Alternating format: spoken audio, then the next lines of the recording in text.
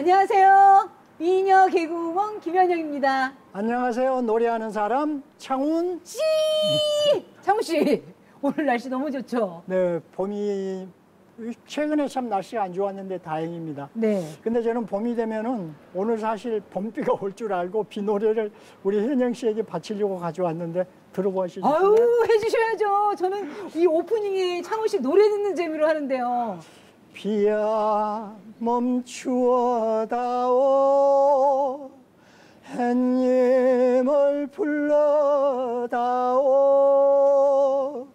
그리운 님을 찾는 나비가 날 수 있도록. 날 것 같아요. 근데요, 오늘 찾아가는 곳이 아주 그 정갈한 맛과 점심 시간 때 그렇게 인기가 좋은 집이래요. 아 역시 또 배고픈 시간이군요 예, 예. 그럼 빨리 가보고 싶어요 네, 가시죠.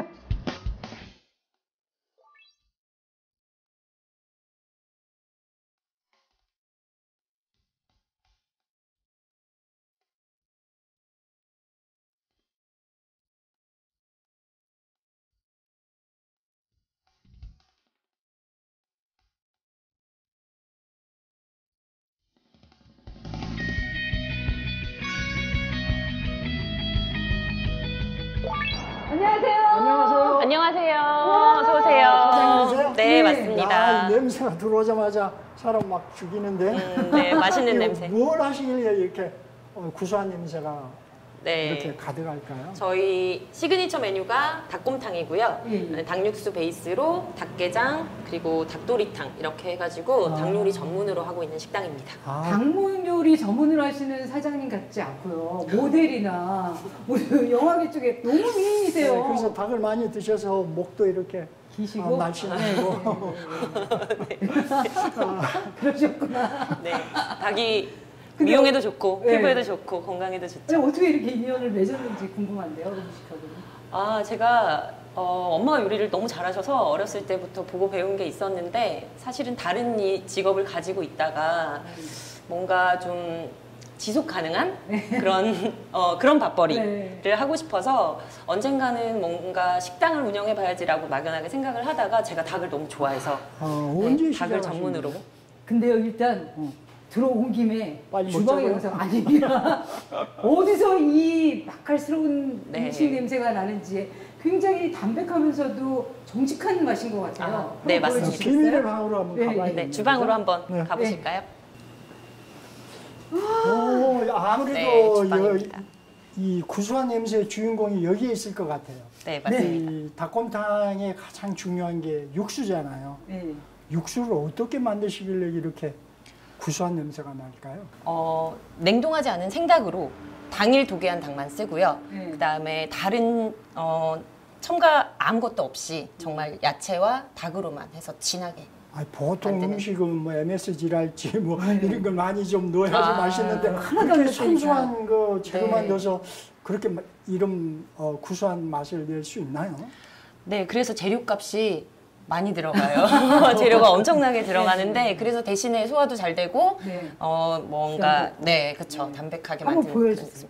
네, 이쪽으로 한번 네. 보실까요? 지금 끓이고 있는 육수 이렇게. 어, 와. 네. 그러니까 이게 전혀 네. 어떤 뭐 조미료랄지 넣지도 않고 네. 순수하게 원재료만 가지고 네, 정직하고 정갈한 육수입니다. 음, 네. 이렇게 음식이라고 하는 게 사람들이 건강하고 직결되는 그럼요. 거잖아요. 음식은 이런 정말 거에 소중한 굉장히 거예요. 소중하게 생각하는 맞습니다. 저 사장님 오픈은 언제고 언제 쉬시고 언제 닫고 아, 여기가 위치가 상암동인데 네. 직장인 분들이 많이 몰려 있고 회사 다니는 분들 직- 그 점심 시간에 네. 네, 좀 손님들이 많이 몰리는 음. 지역이거든요. 네. 그래서 주말과 공휴일은 휴무고요. 아, 저희 메뉴가 식사 위주의 메뉴고 네. 안주나 술과 같이 먹을 수 있는 메뉴라기보다는 식사 그렇죠. 위주의 메뉴이기 때문에 어, 저녁 늦게까지 영업은 안 하고요. 음. 네, 저녁 8시까지만 영업을 하고 점심 장사 위주로. 그렇게 이제 뭐 하루에 점심 시간만 집중해서 하시고 또 일요일 날도 하질 않으시고 그러면 돈은 언제 벌어요? 대체 매출이 어느 정도 어. 그래도 이렇게 운영하실 수 있는 건지. 네, 그러니까요. 이, 이 방송이 나가고 나면 많은 분들이 보시고, 네, 많이 와주셔서 네. 네, 저희 매출을 올려주시면 될것 같아요. 아, 그래서 이 방송 하는 거예요. 아, 네, 그럼요. 아 그러면은 우리 정말로 맛있는 저 코를 굉장히 자극하는 이 맛있는 이 장소를 벗어나서 네. 우리 사장님의 찬란한 닭의 역사를 들어보기 위해서 한번 자리를 옮기시죠. 예. 그럴까요?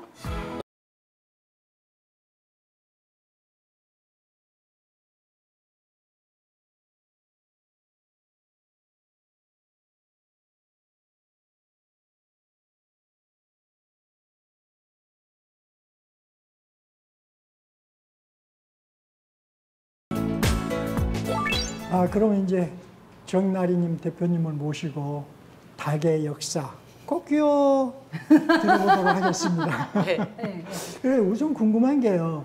한 2년 전에 그걸 여기서 시작하셨다고 하는데 어떤 계기가 특별하게 있으셨는지 잠깐 이야기 들려주시죠.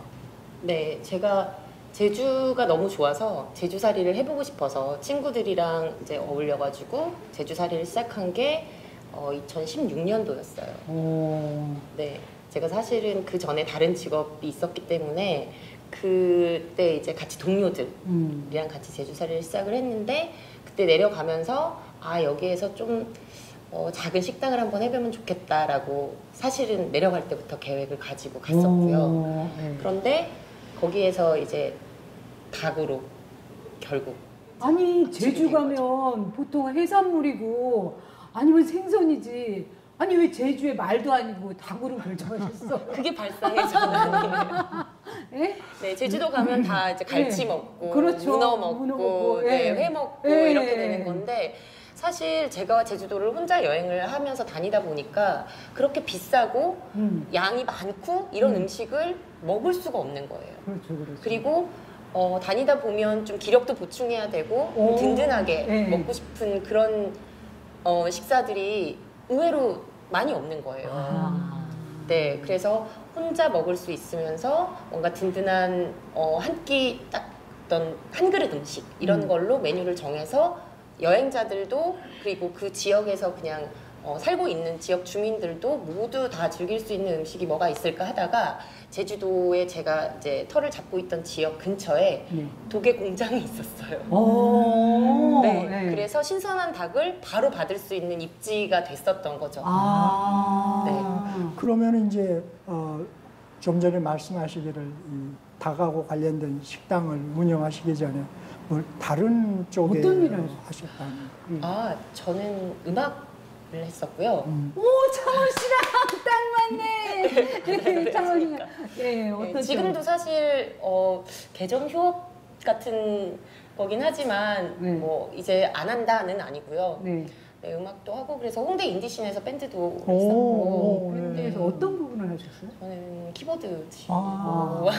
네. 와 멋있다. 연주했었고. 언젠가는 꼭 다시 하세요. 저도 늦게 음악을 좋아만 하다가 늦게 시작한 사람인데요. 언젠가 네. 하시고. 그런데 이제 그렇게 전혀 이 식당하고는 관련이 없는 분야에서 이 어머님께서 어떤 이렇게 전혀 옛날과는 다른 길을 걷게 하시는 많은 도움을 주셨 어머님은 아니에요. 엄마는 처음에 굉장히 우려를 많이 아, 하셨어요. 걱정을 하시고. 아. 네, 이게 쉽지 않은 일이고 음. 또 아무래도 여러 가지 메뉴라던가 이런 것도 유행을 타잖아요. 네. 네. 그러니까 뭔가 이게 정말 해보지 않은 분야에 뛰어드는 게 맞을까, 음. 좀 신중한 게 어떨까 이런 식으로 걱정을 또 많이 하셨는데 제가 사실 제주도에서 시작했던 식당은 정말 그 포구 앞에 작은 창고를 임대해서 개조해서 정말 작게 저 혼자서 운영을 할 수 있는 규모였어요. 음. 근데 그러던 중에 네. 코로나가 아. 시작이 된 거죠. 그럼 어떻게 코로나를 견디셨어요? 네, 그래서 제주도에 관광객들의 발길이 뚝 끊어진 네, 거예요. 네. 그러다 보니까 예상치 못했던 상황이 전개가 되기 시작해서 네. 아 이러면 계속해서 견디는 게 가능할까? 그래서 그 즈음부터 어, 제주살이를 좀 정리하고 음. 다시 가족들이 친구들이 있는 서울로 돌아가야겠다라는 아. 생각을 하기 시작했죠. 네. 네. 그래서 다시 서울로 아. 이전해서 오픈한 게 2년 전에. 근데 하필 왜 이쪽 상암동 지역에다 이렇게 만드신 거예요? 네, 제가 이제 홍대 쪽에서 계속 생활을 음. 했었기 때문에 아. 마포에서 멀지 않은 쪽이었으면 좋겠다라는 게 좀 있었고 아. 네. 그리고 제가 어 제주에서 네. 너무 이렇게 자유롭고 네. 어 그렇죠. 그- 네 이렇게 네. 지내다 보니까 음. 뭔가 좀 나의 삶에 있어서도 음. 내가 여유를 좀 줄 수 있는 음. 그런 거를 놓치고 싶지 않은 거예요. 음. 그래서 어 일주일에 이틀은 쉬었으면 좋겠다. 아, 네. 홍대 와서 밴드 하시려고 그러죠. 그것도 있어요. 내가 공연을 하고 싶기도 하고 네. 공연을 보러 다니고 싶기도 네, 하고 네, 네. 그래서 문화생활을 할 수 있는 뭔가 주말을 네. 확보하고 싶은데 그러려면 오피스 상권이더라고요. 아, 그렇죠. 네. 그래서 마포에서 멀지 않으면서 음. 어, 뭔가 그 직장인들을 대상으로 이렇게 할 수 있는 식당의 상권이면 음. 주말을 제가 쉬어도 음. 크게 죄책감 없이 명분을 가지고 어. 쉴수 있겠다 이렇게 생각을 한 약간 그 꾀를 썼죠. 어, 근데 딱 좋은 것 같은데요? 주말에 공연도 하고 아, 그렇죠. 공연도 보고 네, 본인의-. 네. 본인의 시간을 가지고 그런데 이제 우리가 이 예를 들어서 은퇴를 하셨다든지 창업을 하실 때 가장 쉽게 시작하시는 게 음식하고 관련된 사업을 가장 많이 하시는 것 같아요. 그럼 우리 대표님께서도 이걸 시작해 가지고 그 다른 음식점에서도 겪을 수 있는 여러 가지 어려움이 있었을 건데 그걸 이겨내고 지금까지 이렇게 번창하고 있는 특별한 어떤 노하우 무슨 아니면은 어 다른 데와는 차별화되는 어떤 경영 방식 그런 게 있을까요? 제가 워낙 음식하는 걸 좋아하고 네. 뭔가 이렇게 만들어 보면 더 좋겠다 이런 걸 궁리하는 거가 익숙하다 보니까 음. 저 같은 경우에는 좀 즐겁게 음.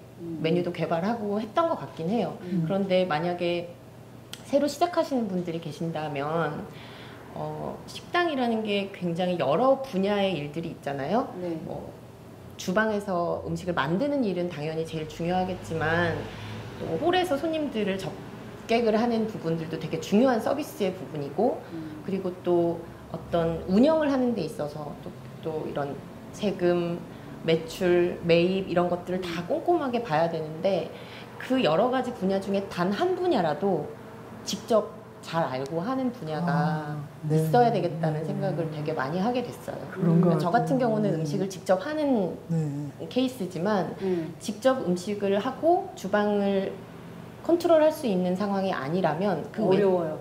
맞아요. 음. 네. 그러면 또 우리 어, 대표님과 같이 무언가 또 창업을 해보고 음. 소상공인으로서 성공하고 해보고 싶은 분들이 많거든요.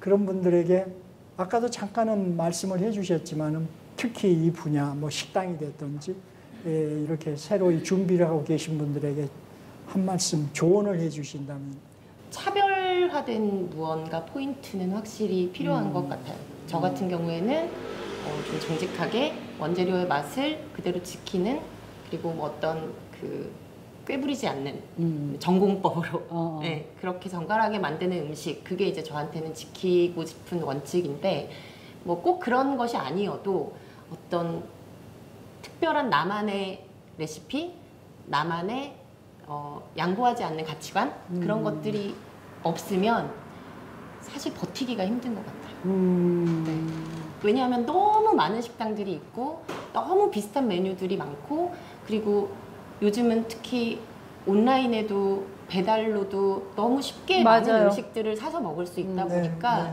거기에서 뭐 가격으로만 경쟁한다든가 아니면 요새 유행 있는 메뉴가 이런 게 유행이니까 이런 걸 한번 해봐야지라고 음, 이렇게 안 한, 돼요. 시작한다던가 그렇게 하는 건 좀 위험할 것 같고 음. 좀 길게 보고 내가 이걸 가지고 다른 어떤 것과 좀 차별되는 음, 그런 걸로 내가 좀 가지고 갈 수 있다 이런 확신이 있을 때 음. 신중하게 시작하셔야 하지 음. 않을까.